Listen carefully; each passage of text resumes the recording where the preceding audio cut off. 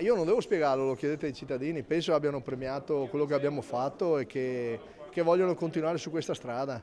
Credo che insomma, la città di Venezia riprenda il proprio orgoglio. Io sono un sindaco senza tessera, abbiamo un partito che è maggioranza in città con un'alleanza di centrodestra.